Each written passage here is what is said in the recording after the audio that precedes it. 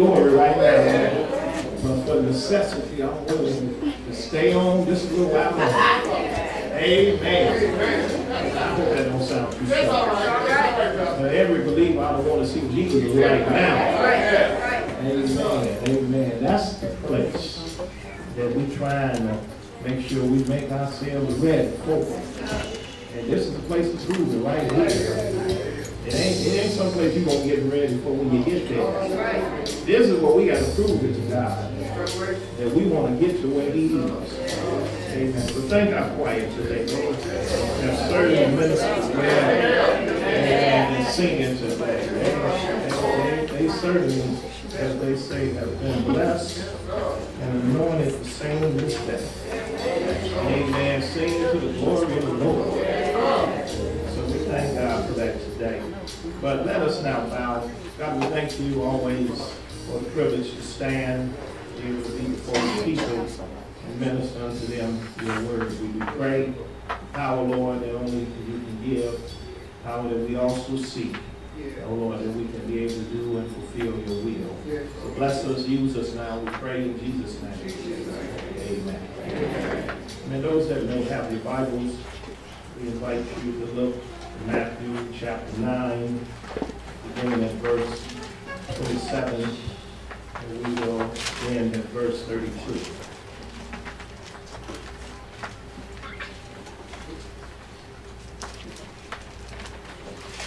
In Matthew, the ninth chapter, beginning at verse 27, and we'll end at verse 31.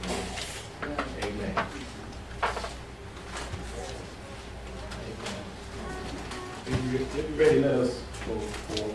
When Jesus departed and the blind men followed him, crying and saying, Thou son of David, have mercy on us. And when he was coming to the house, the blind men came to him, and Jesus said unto them, Believe me that I am able to do this. They said unto him, Yea, Lord. Then touched him their eyes, saying, According to your faith, be it unto you. And their eyes were opened, and Jesus straightly charged them, saying, See that no man know it. But they, when they were departed, spread abroad his fame in all that country. Amen. And today, by way of a thought, we're focusing in on verse 29. And we want to talk to more this day according to your faith. According to your faith. And we pray that at the end of this message, we will be enlightened to understand it is your faith, my faith, that impresses the Lord. Amen. Faith is still the trendsetter when it comes to belief and the possibility of knowing God can do. But it cannot be saved if there is no faith demonstrated to prove we believe. For it is by grace we are saved through faith. However we choose to look at faith or feel about faith, without it, is impossible to please God. For that writing Hebrew will continue to say, For he that cometh to God must believe that he is, and that he is the reward of them that diligently seek him. Faith is essential. Faith is proof that we believe. Not just anything, but in the one who is able to do exceedingly abundantly. Because I love that Hebrews chapter 11, verse 1 says, Now faith is. Now is a present tense word. it, it speaks of this moment, which says to us faith is always active no matter who possesses it. Let's look at the text that is before us. When your faith is strong, when you are truly convinced, nothing can undo your faith. This is why Jesus would say, according to your faith, be it unto you. To make it even more plainer, because of your faith, it will happen. The focus of this discourse is to let us continue to realize how valuable faith is. Because every believer in Christ Jesus should have some faith. Because how much faith we should have is determined by how strong we believe. The Lord spoke on various occasions throughout the Gospels how he recognized the faith in those who came seeking him.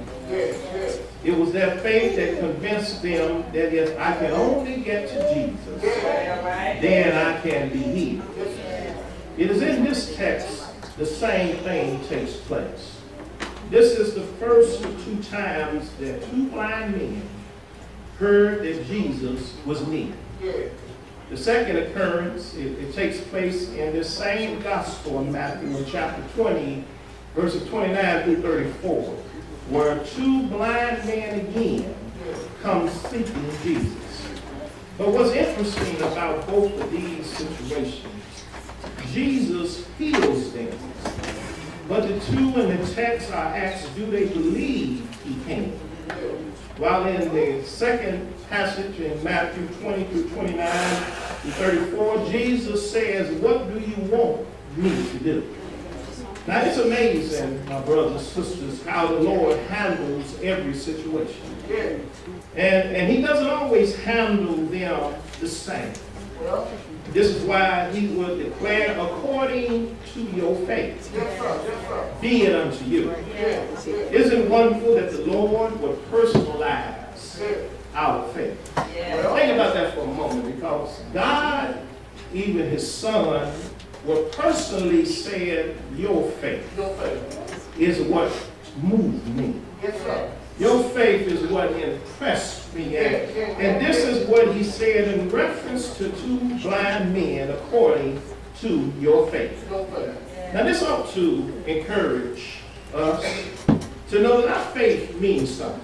Uh, I, I, say this from this perspective because don't belittle your faith. All right, all right. Your, your faith can do more than you can imagine. Yeah, yeah especially when the Lord is pleased to see us living by faith. Yes, yes, yes. Now listen, what takes place in this text is certainly all about faith. That's all you see as, as it seems like it leaps out. That, that all we see is that faith is being demonstrated. And, and can I tell you that faith is, has an uncanny way to let us go beyond what is normal. Because listen, there is nothing normal about faith. Expects, it, listen, it, it sees, as that song says, the invisible. It, it, it expects right. the incredible. That's right. It, it receives the impossible. And I just like to say that faith makes a difference. No matter how you try to examine, because, because the question was put to you now, how's your faith? Because these two blind men prove that it doesn't take physical sight to have a faith. Thank you, Jesus. Uh, some think that you got to see in order to believe. Now, and, and here is two blind men who just by chance knew that Jesus was around. And, and, and all they had was faith. It's right there in the text. And that's all they needed, if I can say that, because faith separates those who believe from those who don't. And, and when the fact says no, faith says yes. Now look at these two blind men. They were moved by faith. Oh, so much that, first of all, their faith caused them to pursue. It's, it's right in. Look at verse 27. When Jesus had departed thence, Jesus just left here a ruler's door. Amen. Who had been gravely ill, who was even pronounced dead. All right, all right. It's, it's right there in, in chapter 29, the previous verses that you'll see that Jesus went in the room and he caused the girl to rise and she became alive. But not only that, you'll hear that there was a woman who had an issue of blood. right, all right, all right. Amen. For 12 years. And, and that woman who pressed her way to get to Jesus. Amen. Had believed this in her heart that if I could just touch the hem of his garment, I know I'll be back. But Jesus said, but because of your faith, Yeah. you have been made whole. But, but here it is now, after he had just done two extraordinary miracles. All right, all right. Here come two blind men. Now, I don't know where they come from. I, all I can go by the text is that they had heard that Jesus was around. Now, we are not told that they had anybody to guide them to Jesus. But, but we're assuming that perhaps they had someone who had led them to where he was. And so, therefore, their faith caused them to pursue Jesus.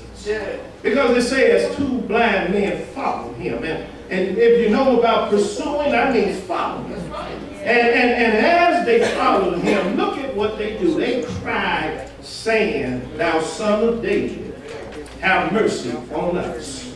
It's interesting that they would use this, amen, title to address Jesus. They didn't call him by name, but they said, Thou son of David, have mercy on us. Some believe that they will use a title that, po- that pointed towards him as being the Messiah. And, and, and because of his lineage that he came through, that even being referred to the son of David meant that they knew that this was the Messiah who would come. But aren't you glad, brothers and sisters, that they had faith that convinced them to pursue the Master? Now, I want to say to somebody right now, is your faith causing you to pursue the Master? Or you have faith that just got you sitting down and got you frustrated, got you at the point of not believing. But if you got faith that has convinced you that I need to follow, I need to seek after Jesus. Amen. These two blind men ought to say something to you. All right. Amen. Men that didn't have physical sight. And sometimes I'm concerned with us who do have physical All sight. right, all right. It seems like we ought to have more faith. Amen. Than those who don't have sight. All right, all right. But I'm glad that this is an example to us that it was according to their faith. Yes, yes, And aren't you glad that these two blind men came on the scene? yes, We don't know where they come from. We don't even know whether they were citizens of. yes. But all scripture would say that once Jesus had done what he had already did, these two blind men followed him, Yes. crying and saying, Thou son of David, have mercy on us. They were in the right place, and they were certainly calling out to the right person. And brothers and sisters, your faith will never deceive you. All right, all right. Especially if it knows who it wants. And that's why I'm glad that these two blind men followed after him. I'm still curious, how did they follow him? Not being able to see him for themselves. But perhaps there is an unknown pause in the scripture that maybe there were two who were leading them to Jesus. But look at how they pursued him. They pursued him crying out to him, saying, Have mercy on us. Which was a good indication that they were going to get Jesus to heal them. And secondly, I want to let you know their faith caused them to be persistent. Now listen, verse 28 continues on. It seemed like in verse 27 that Jesus didn't acknowledge them. There's nowhere in between 27 and 28 where Jesus said a word. No doubt it seemed like he ignored them. Right. That Jesus went right on into the house. But he didn't go in by himself. The blind men came to him. which is a, a persistency that we see in their faith. Yeah, yeah. They were not just willing to just let him ignore them. But they said, we got to go a little further. Right. Amen. If we're expecting our faith to convince us Yes. that Jesus can heal us from our blindness. Yeah, So their faith calls them to be persistent. It calls them to go into the house. Oh, yeah. Now what's curious here, who invited them to come in? right, all right, all right. Amen. Because if the truth be told, if somebody was following us and they got in our house, we all would be wondering who let them in. But I'm glad in this day and age that Jesus was in. Now, it, it was not that much security as we have on our doors. Amen. We have all locks on the doors. We even got security for the doors. But I'm glad that in the text, when Jesus went in the house, the blind men, they came in also. Uh, They were persistent, my friends. And sometimes on the journey, your faith got to make you that persistent. And I'm not going to take no for an answer. I'm not going to take the Lord ignoring my cry. But I'm going to keep on letting him see I want him to help me. And I believe Jesus deliberately uh, let them follow him. Let them come in the house uh, so he can now ask the question. Uh, believe that I can do this. Uh, he says it right in verse 28 uh, because he knew they were following him uh, for a particular reason. Uh, and my brothers and my sisters, uh, when you're going before the Lord, uh, don't just get frustrated. Uh, don't give up on what you asked him to do, uh, but stay with him uh, because he might be testing uh, if your faith is real. Uh, or do you not know that some people call on the Lord uh, and don't really believe he can do what they say? Uh,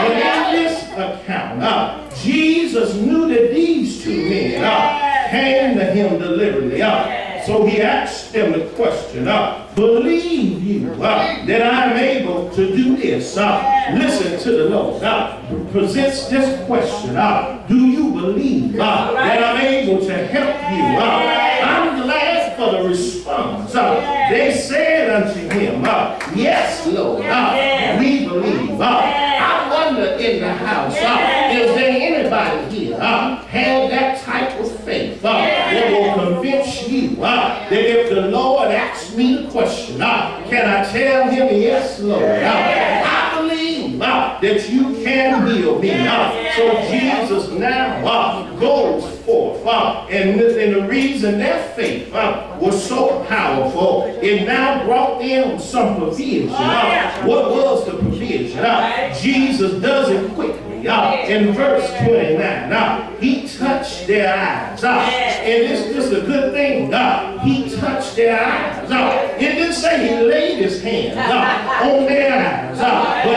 he touched their eyes. Uh, and Jesus said these words, uh, according to your faith, uh, be it unto you. Uh, I wonder right now, uh, is there anybody here uh, has that type of faith? Uh, faith uh, that will make you move uh, when it seems like uh, nothing else can happen. Uh, faith uh, that can convince you uh, that the Lord is able. Uh, there's nothing he can't handle. Uh, I believe uh, in this text, uh, these two blind men uh, who had enough faith uh, that Jesus would commend them. Uh, he says, according uh, to your faith, uh, you got to shout there. Uh, be it unto you. Uh, it shall be done. Uh, that's all he said. Uh, because of the faith uh, you possessed in me, uh, it shall be done. Uh, can I talk to somebody? Somebody needs uh, to be reminded uh, that your faith uh, in God uh, is still good. Uh, if you believe uh, in your heart, uh, if you are convinced uh, that if God uh, says he can do it, uh, he will look at your faith uh, and tell you, uh, according uh, to your faith, uh, it unto you. Uh, hallelujah. Uh, I'm glad uh, at the response uh, of these brothers. Because when Jesus uh, had done what he did, uh, their eyes were open. Oh, it wasn't no Hollywood thing. It wasn't no slow motion. No special effects. The scripture declared when they opened their eyes, they now could see. But Jesus does something extraordinary. Oh, he tells them uh, to be quiet.